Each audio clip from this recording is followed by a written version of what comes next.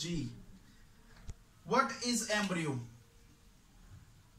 Logic का मतलब to study to study embryo का मतलब होता है जब कोई बच्चे की पैदाइश हो रही है माँ के पेट में तो नौ महीने बाद बच्चा पैदा होता है, जब तीन माह का अंदर हो जाता है। ठीक है?